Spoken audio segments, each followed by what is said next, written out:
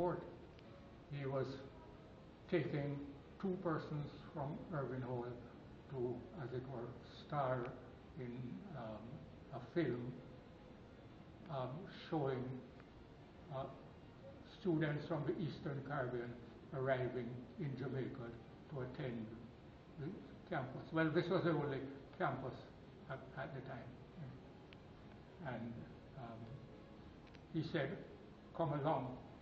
So I think what we did was to film a plane coming in and then um, after the plane landed, we asked the pilot to include us in the group and they taxied us around and um, we came out as though we were um,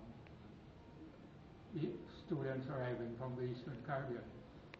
But the main um, star was the brought from Irvine Hall was a fellow pilgrim from Barbados.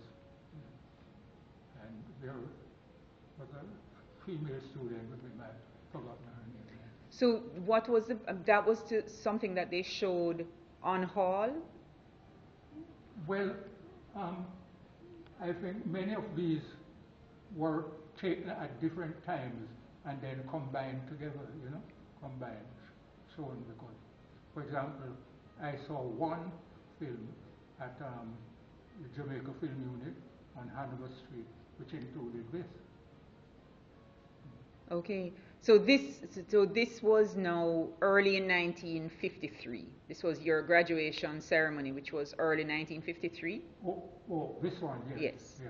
When in 1953 would that have been? Do you recall? Probably about February or, or so, 53. Yeah. Okay, exam ended in June 52. Right. Yeah, okay, Probably last year. okay. So as you said, you were the first person on the list, so therefore you are the the one that they shot the images of. Yes. Well, actually, they asked me, uh, uh, when are you going up? And I said, um, considered I- I'm first person out.